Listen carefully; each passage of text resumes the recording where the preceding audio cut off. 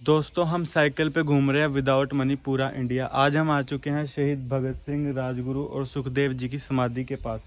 देखो, जो कि सतलुज नदी के किनारे पे बनाई हुई है। फांसी के टाइम देश आज़ाद हुए थे तो उस टाइम पे शहीद भगत सिंह राजगुरु और सुखदेव जी को उनकी बॉडी है जो, वो यहीं पे मिली थी, जो कि पाकिस्तान के बॉर्डर के बिल्कुल पास में ही है। पाकिस्तान का बॉर्डर है उस साइड।